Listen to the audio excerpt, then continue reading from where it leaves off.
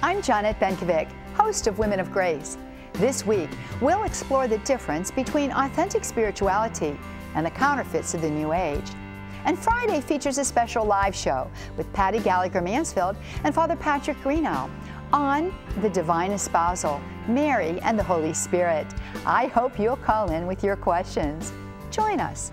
Women of Grace today at 11 a.m. Eastern on EWTN.